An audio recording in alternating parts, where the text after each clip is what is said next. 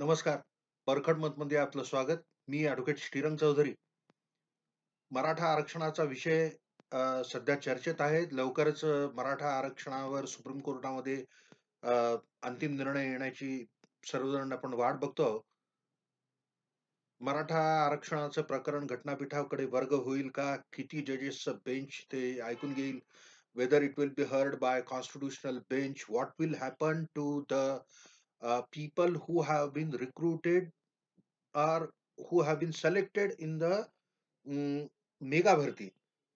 याच्याविषयी तरुणांमध्ये आज uh, बरीच अँझायटी आहे, की बरेचसे मराठा तरुण ज्यांचं निवड यादीमध्ये नाव आहे, वेगवेगळ्या भरत्या झाल्या. सर्वांना आपल्याला माहिती आहे 72,000 जागांची मेगा भरती महाराष्ट्र शासनातर्फे घेण्यात आली. एक्झॅक्टली नसतील 72,000 कमी जास्ती काही असतील. पण सर्वच्या सर्व वर्गांमध्ये in all cadres there have been major vacancies and there was a drive for recruitment आणि या निवड प्रक्रियेमध्ये मराठा लोकांना आरक्षण देऊन मराठा समाजासाठीचा एस-सी-बी-सी प्रव आणि आर्थिकदृष्ट्या मागासवर्गीय ई-डब्ल्यू-एस या दोन नवीन प्रवर्गांना आरक्षण देऊन जे परवा भरती प्रक्रिया झाली, निवड प्रक्रिया जी झाली, त्याच्या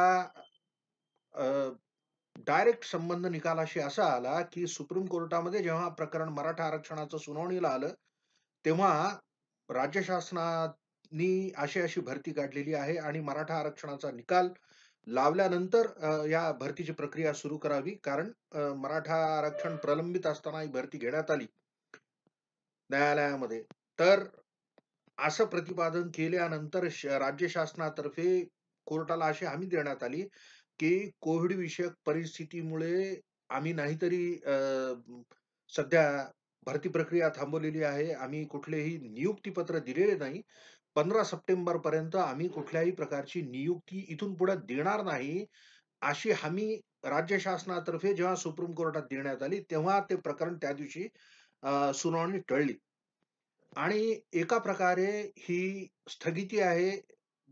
कदाचित हीच परिस्थिती मराठा आरक्षणाची सुनावणी पूर्ण होऊन निकाल येईपर्यंत राहील, की कुठलीही नियुक्ती देण्यात येणार नाही आणि त्याच्यामुळे जे विद्यार्थी, जे परीक्षार्थी, जे उमेदवार ज्यांनी परीक्षा देऊन मराठा आरक्षणाचा लाभ घेऊन ती परीक्षा देऊन एक प्रकारे त्यांनी निवड प्रक्रियेमध्ये यश संपादन करून स्वतःचं कर्तृत्व सिद्ध केलेलं आहे.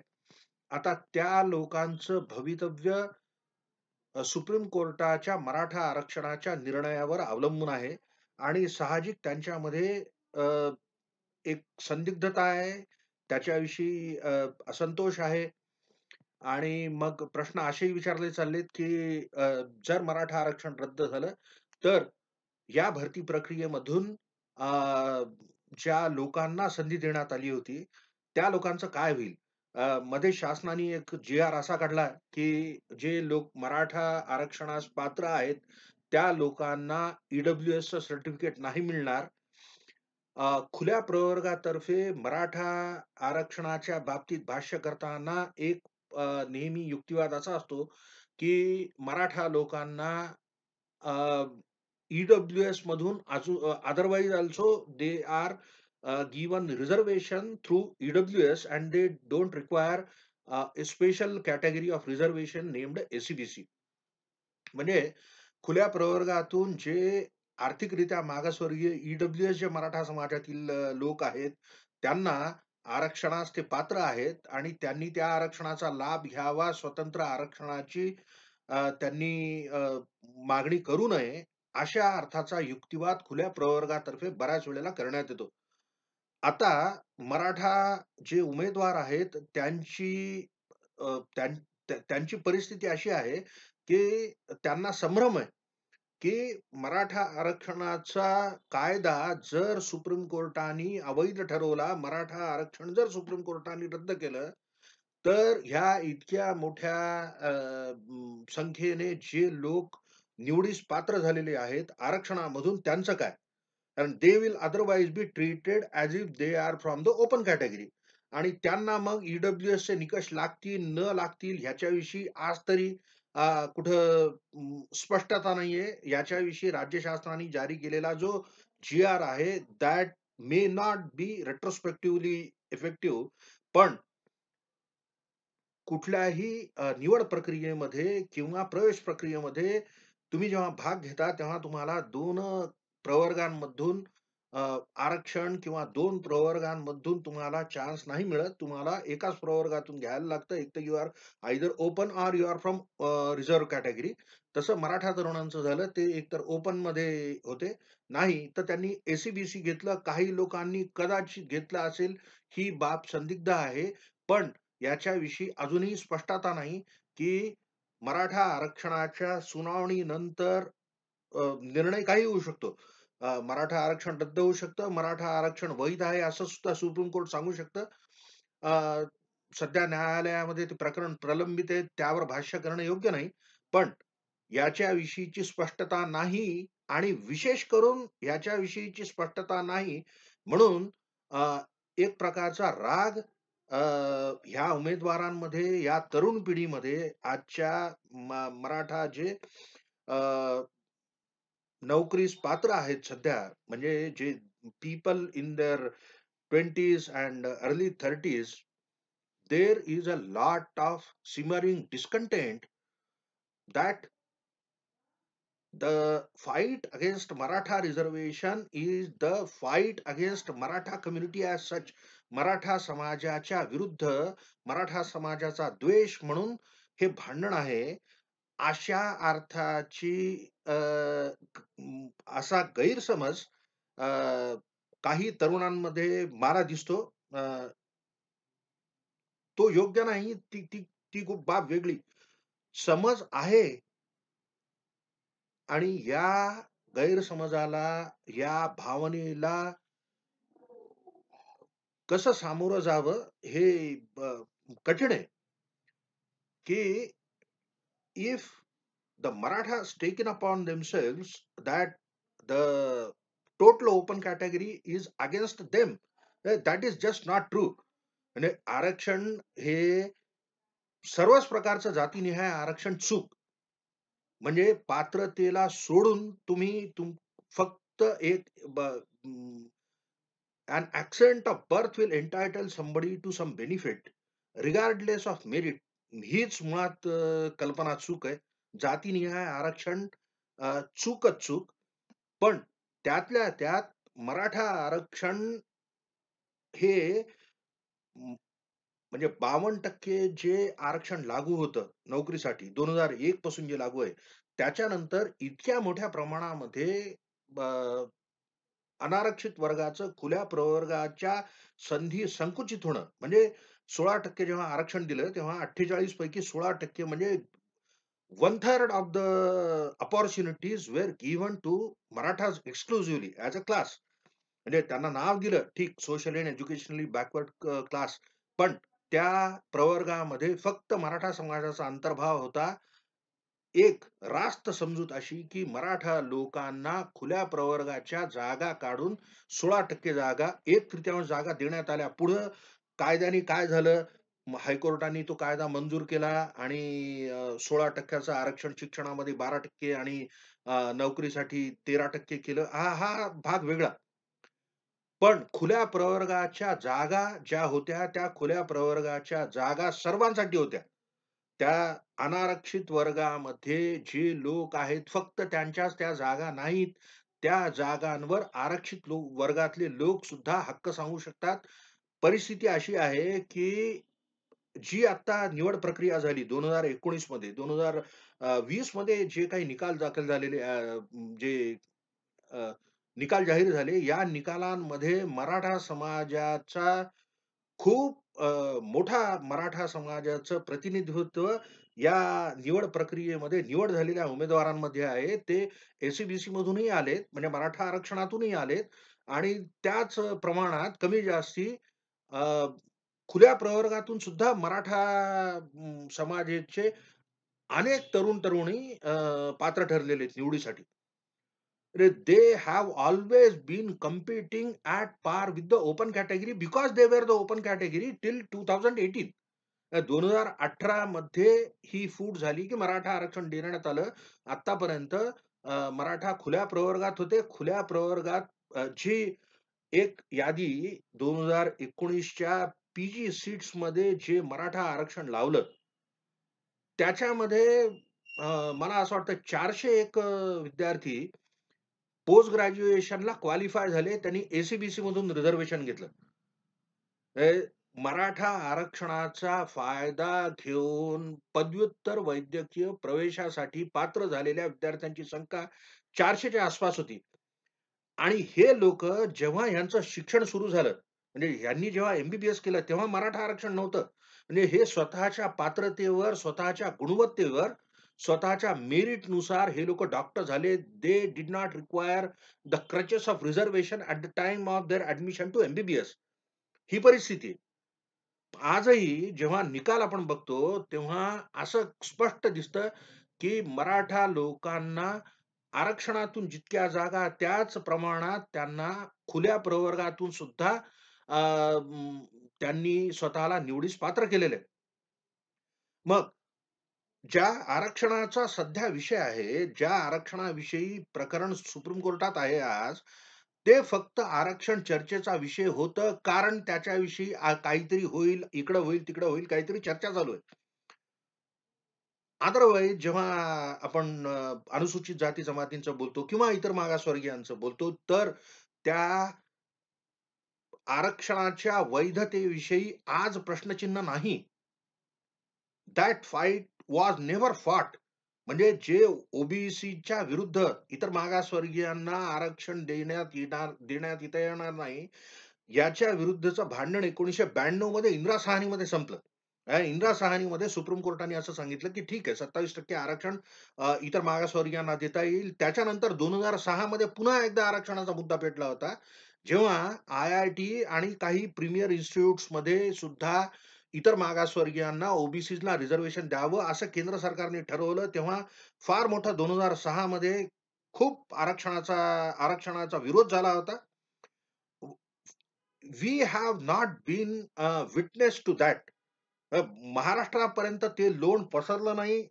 त्याची तीव्रता, त्या आरक्षणाविरुद्धच्या भांडणाची तीव्रता एक तर दक्षिण भारतात होती, तमिळनाडूमध्ये नाही, तर उत्तर भारतामध्ये म्हणजे ज्या उत्तर प्रदेश, दिल्ली, हरियाणा, पंजाब या भागांमध्ये जी तीव्रता इतर मागासवर्गीयांना प्रीमियर इन्स्टिट्यूट्समध्ये जसं आय-आय-टी, आय-आय-एम या इन्स्टिट्यूट्समध्ये रिझर्वेशन लागू करावं, ही 2006 मधली घटना, 2006 मधला धोरणात्मक निर्णयाचा जो विरोध झाला, त्या विरोधामध्ये सुद्धा इतर मागासवर्गीयांना विरोध होता असंच नाही, पण खुल्या प्रवर्गाच्या ज्या जागा संकुचित होत आहेत, ज्या संधी कमी होत आहेत, गुणवत्तेच्या आधारावर, मेरिटच्या आधारावर प्रवेश न देता एका प्रकारे गुणवत्तेची पायमल्ली करून जाती निहाय आरक्षण देत आहेत, त्याला तेव्हाही विरोध झाला होता कडकडून. तर हा विरोध सध्या जो मराठा आरक्षणाला जो विरोध आहे, तो मुख्य एका तत्वावर आधारलेला, की हे आरक्षण सुप्रीम कोर्टाने घालून दिलेल्या 50% मर्यादेच्या पुढचं आहे आरक्षण.